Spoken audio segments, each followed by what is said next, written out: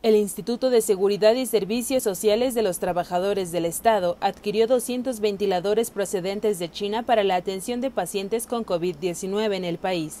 Mediante un comunicado, el instituto detalló que los ventiladores complementarán el equipo en las 112 unidades médicas del ISTE dispuestas para la atención de pacientes infectados con el virus. Durante la recepción del equipo, el director del instituto, Luis Antonio Ramírez Pineda, agradeció al canciller Marcelo Ebrard por su apoyo logístico para traer los equipos.